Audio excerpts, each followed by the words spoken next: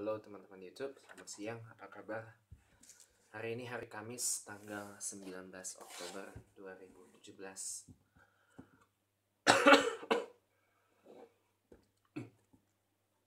Jujur saya baru nonton video lagi. Video tentang Itu, apa? Yang sempat viral itu. Supir taksi marah-marah Sama bule supir taksinya supir taksi Bluebird lagi. Perusahaan taksi yang memang terbesar di Indonesia gitu. Saya lihat komen-komennya banyak yang menimbulkan pro dan kontra ya.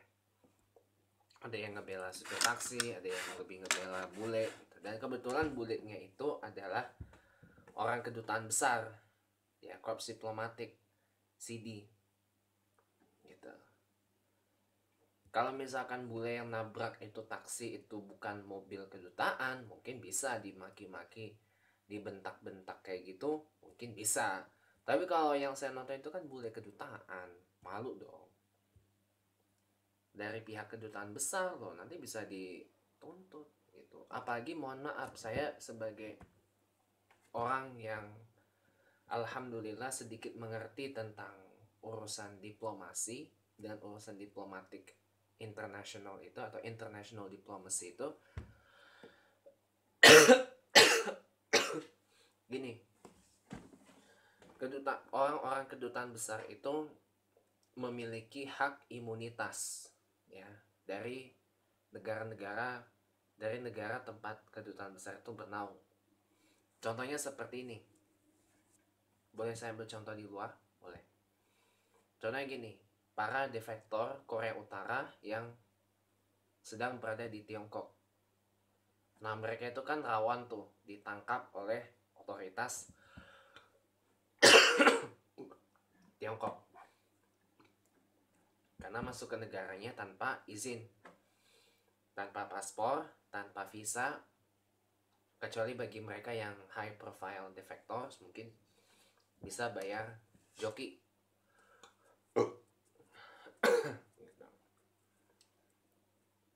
bisa banyak orang lah untuk defect gitu.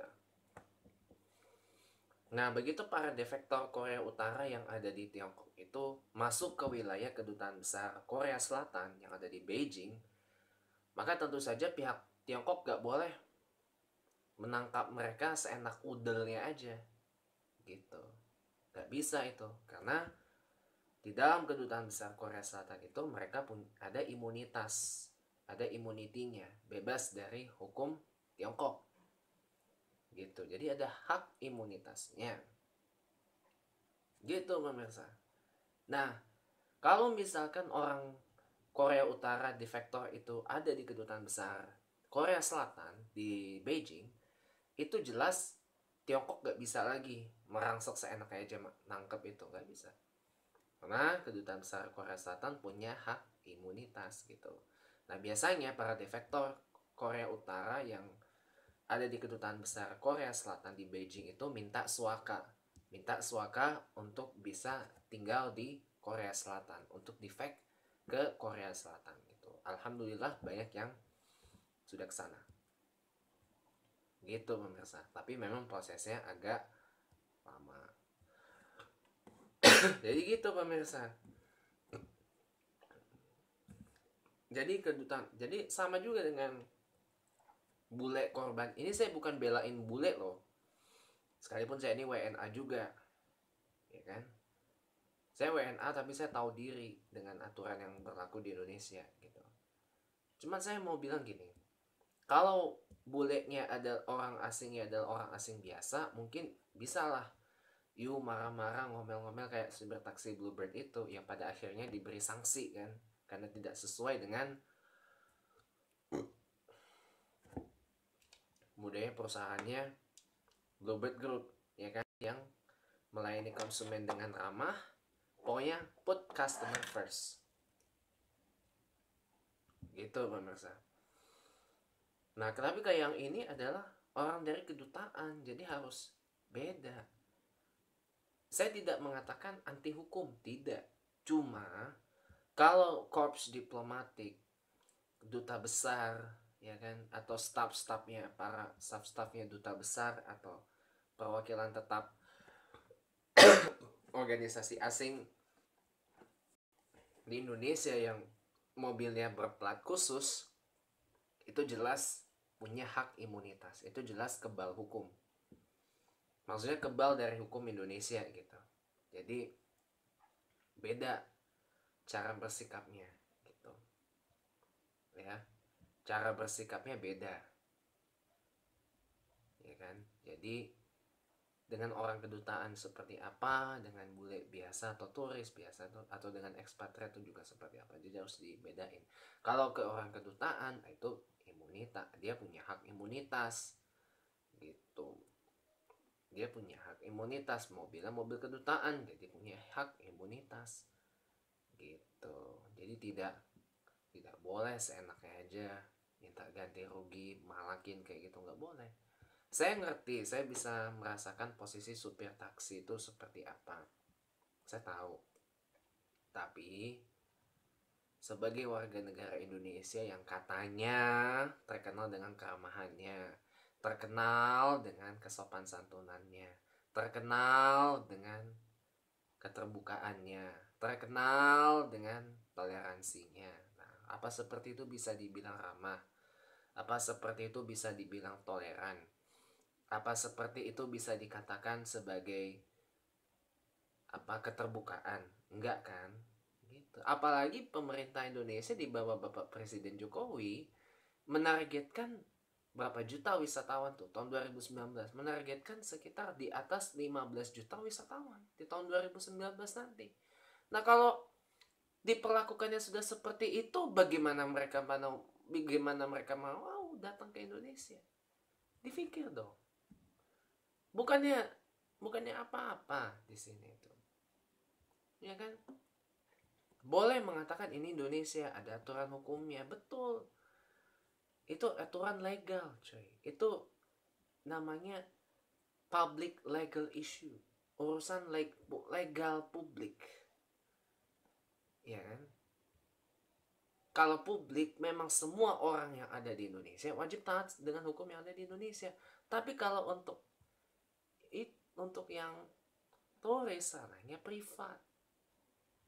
Sekalipun tetap harus ikut aturan yang ada di Indonesia, cuma dikasih tahu do's and don'ts-nya. Dikasih tahu dulu do's and don'ts-nya. Gitu. Baru kalau orang yang sudah tahu do's and don'ts-nya mungkin mereka akan lebih menyesuaikan. Jangan dibilang nggak ngerti. Saya nggak ngerti posisi supir taksi. Saya ngerti. Atau dibilang udahlah nggak usah bela bulenya. Tetap mereka perlu dibela kalau itu orang kedutaan. Kalau orang biasa kalau mau di kalau tuh warga warga negara asing biasa mau digebukin ya terserah saya nggak akan komentar kayak gini tapi karena ini WNA-nya adalah orang kedutaan besar, jadi ada pelatnya juga korps diplomatik ya kan, jadi harus lebih dijaga lagi sikapnya, gitu. Dan juga saya pengen kasih tahu ya, jangan ngomong lagi bahwa Indonesia terkenal dengan ketimurannya, terkenal dengan keramahannya kepada warga negara asing kalau masih ada kayak gitu. Jangan ngomong ke saya kayak gitu. Jangan ngomong orang Indonesia ramah kalau masih ada kayak gitu lagi. Saya nggak mau. Jadi orang tuh jangan munafik. Jangan cuma ramah kepada bule atau kepada warga negara asing tuh cuma buat cari muka. Jangan saya bilang. Kalau ramah ramahlah yang sebenarnya. Kalau terbuka terbuka dong yang benar. Kalau sopan santun ya sopan santun yang benar dong. Katanya orang timur. Mana ketimurannya jangan hanya sibuk dengan urusan kantong dan perut. Jadinya lupa sama sekitar. Mata ditutupin. Mata mata fisik ditutup mata hati ditutup hanya untuk jangan gitu. Malu dilihat sama negara orang. Coba lihat gara-gara hoax erupsi Gunung Agung banyak tuh turis asing yang meninggalkan Bali. Seneng kan? Nggak ada turis asing terus asingnya mulai bepergian ke Bali. Kenapa? Karena katanya kafir. Karena katanya membawa pengaruh buruk buat Indonesia. Nah sekarang satu persatu udah mulai keluar. Seneng nggak kira-kira kayak gitu? Yang seneng siapa yang rugi siapa? Coba pikir.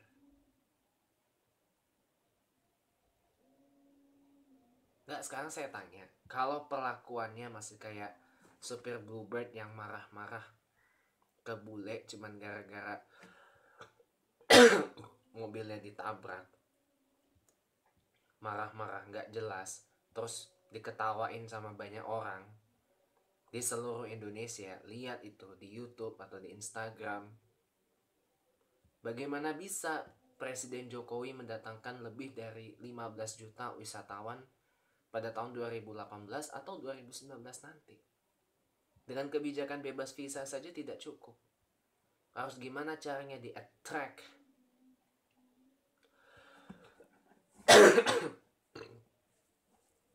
ya kan?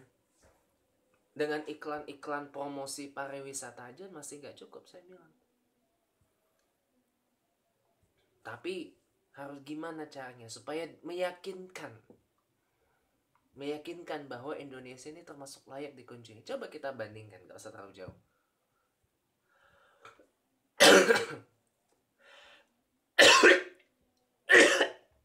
Maaf.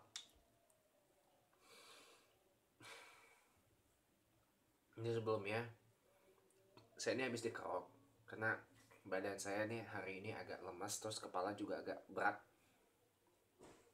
dan saya juga agak kurang sehat makanya saya batuk banget nih hari ini Coba kita lihat Thailand. Thailand itu nomor satu dari devisanya itu adalah pariwisata. Thailand. Berapa banyak wisatawan asing yang berkunjung ke Thailand? Saya punya data.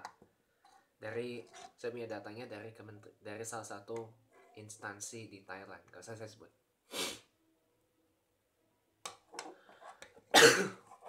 tapi sebelumnya saya mau minum dulu tapi nggak apa-apa. Coba mau minum dulu.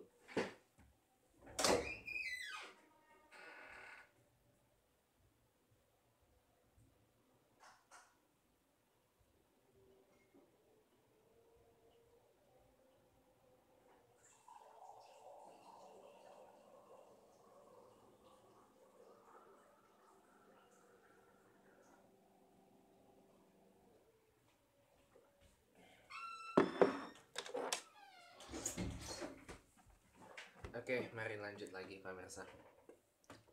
Ini saya dapat data dari teman saya yang kerja di NBT. NBT itu TV satu dari dua TV negaranya Thailand selain Thai PBS. Nah, NBT itu ada di bawah Departemen Hubungan Masyarakat Kantor Perdana Menteri Thailand. Nah, data dari Departemen Humas Kantor Perdana Menteri Thailand. Tahun ini aja jumlah par, jumlah wisatawan asing yang berkunjung ke Thailand itu memang mengalami penurunan ya. Pasca mas karena masih dalam masa berkabung. Masih dalam masa berkabung atas mangkatnya Raja Pumipon Aduniatet pada 13 Oktober 2016 yang lalu. Udah satu tahun ini masa berarti masa berkabungnya sudah lewat ya kan? Masa berkabungnya udah lewat sebenarnya. Karena ditetapkan satu tahun. Sekarang tanggal 19 Oktober udah lewat lah. Nah bulan Oktober ini aja wisatawan asing yang berkunjung ke Thailand itu sekarang sudah mencapai sekitar 35 juta wisatawan. Yang paling menarik magnet di sana tuh apa? Mungkin seperti kota Bangkok Chiang Mai Pattaya Phuket dan sebagainya sumber devisa terbesar Thailand itu apa? Pariwisata. Makanya dimanfaatkan betul. Bahkan Thailand mengiklankan pariwisatanya Thailand the land of smiles gitu. Dan sekarang ada misi returning the happiness to Thailand. Mengembalikan kebahagiaan kepada masyarakat Thailand pasca junta militer pimpinan PM Prayut chan ini ambil alih kekuasaan dan kita lihat sekarang Thailand orangnya jauh lebih happy, jauh lebih bahagia, bisa senyum lebar kayak gini. Dan akibatnya apa? Wisatawan asingnya meningkat, tajam. 35 juta loh. Bagaimana Desember nanti? Bisa di atas 35 juta. Bukan saya ngarang ini data dari PRD Thailand. Dari PRD dari kantor Perdana Menteri Thailand. Ya kan? Belum lagi ya kan? Walaupun di Thailand kadang-kadang orang suka minta duit yang kadang kala kurang masuk akal ya. Tapi just forget about that. Itulah sisi buruknya kalau Thailand itu. Kebaik kadang-kadang suka ada copet suka ada orang minta duit kagak jelas dan sebagainya gitu. Tetangga kita ya Malaysia Malaysia menjaring banyak wis berapa wisatawan asing ya di tahun 2017 ini sampai bulan Oktober 2017 ini aja Malaysia itu total sudah ini data dari salah satu instansi pemerintah di Malaysia sudah mendatangkan lebih dari 22 juta turis asing ke negara Malaysia tersebut. Hebat nggak? Malaysia menjaring walaupun situasi politik dalam negeri Malaysia sedang chaos sekarang ini. Ya kan? Namanya juga tahun politik karena tahun depan Malaysia akan gelar pemilu. Tahun politik nih di Malaysia nih kayak gaduh tapi kelihatannya Malaysia berhasil mendatangkan banyak wisatawan asing. Datangnya tadi untuk sampai Oktober ini aja sudah 22 juta. Sedangkan Indonesia tak sampai Oktober tahun ini aja masih nggak sampai 16 juta wisatawan nggak jangan kan di bawah 16 juta 10 juta aja tuh masih susah 10 juta sekian deh gak nyampe 12 juta wisatawan asing yang datang ke Indonesia ini. Ibaratnya apa? Masih ragu-ragu. Terutama beberapa negara masih menerapkan travel warning ke Indonesia. Jadi mau dibawa ke mana gitu loh. Sama bule aja kelihatannya nggak respect, ngomel-ngomel pada tuh bule kedutaan. Belum lagi dikata-katain diejek dikatain kafir lah dikatain apalah gitu. Segala macam itu. Ini hanya membuat muka Indonesia ini malu. Jadi please lah saya hanya minta satu aja. Jangan abaik jangan gadaikan keramahan kesopan santunan dan ketoleransian dari Anda yang mengaku orang Indonesia sejati ya kan? Karena orang Indonesia itu saya kenal banget dengan ketimurannya. Kalau di Bandung kita kenal Someh di Kasema kalau di Manado kita kenal orang semua basudara kalau di Papua kita kenal Kitong basudara jangan gadaikan itu deh. Jangan gadaikan itu cuman gara-gara ini urusan perut. Dan juga urusan kantong. Jangan. Jangan kayak gitu. Ramahlah kepada siapa saja. Jangan hanya kepada warga negara asing aja.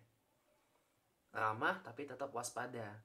Takutnya ada yang mencurigakan. Gitu ramah tapi tetap waspada. Sopan santun boleh tapi tetap waspada. Takut ada yang mencurigakan. Gitu. Sama warga negara asing mereka tamu di Indonesia kita jamu dengan baik. Satu hadis pernah mengatakan muliakanlah tamu. Mulia satu hadis dari Rasulullah SAW mengatakan muliakanlah tamu kalian sekalipun dia kafir orang yang tidak bertuhan dan di Islam kita juga diajarkan untuk memuliakan tamu saya muslim boleh nggak saya bicara dari perspektif agama saya? Dalam Islam itu kita diajarkan untuk memuliakan tamu. Tiga hari saja kita layanin tamu, itu dapat pahala. Kalau dia terus kita layanin, itu jatuhnya sedekah. Apakah sedekah itu untung atau rugi? Untung. Oke lah, untungnya tidak terlihat, tapi berkahnya seberapa? Gak bisa diukur dengan uang. Jadi dengan berkelakuan baik, misalkan saya kasih yang simpel aja, saya kasih tantangan kepada Anda yang mengaku orang Indonesia sejati, coba sebagai penutup saya tantang Anda, bisa nggak, mau nggak Anda terima warga negara asing atau orang bule tinggal di rumah Anda lebih dari tiga hari, dan Anda mau nggak, bisa nggak Anda layani mereka dengan baik, meskipun ada kendala bahasa yang cukup mencolok banget.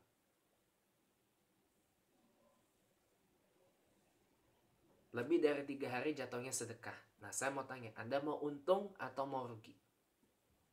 Saya tantang Anda yang ngaku orang Indonesia sejati. Coba, mau nggak terima warga negara asing, nggak mesti bule kulit putih, tapi juga orang Jepang, orang Korea Selatan, orang Tiongkok asli, bukan Tionghoa, yang berpaspor Republik Rakyat Tiongkok itu tinggal di rumah Anda lebih dari tiga hari. Ya katakanlah seminggu atau sepuluh hari aja. sepuluh hari atau dua minggu atau lima belas hari lah, gak usah sebulan. lima belas hari aja saya tantang. Mau nggak Anda nerima mereka? Mau nggak Anda menjamu mereka? Mau nggak Anda melayani mereka dengan baik? Kalau Anda pengen dapat berkah yang melimpah, karena Anda bersedekah, melayani tamu, menjamu tamu lebih dari tiga hari. Itu namanya sedekah. Dan sedekah itu berfaedah, sedekah itu berpahala. Nah, Anda mau nggak? Jadi saya tidak mau lagi ada kata-kata this one Indonesia, no England, no USA. Itu saya tidak mau lagi ada perlakuan kayak gitu. Ya, saya tidak mau lagi ada perlakuan seperti itu kepada para warga negara asing di Indonesia. So just enjoy Indonesia. You can do what you can do your own life, but please obey the but please obey the social rule of Indonesia.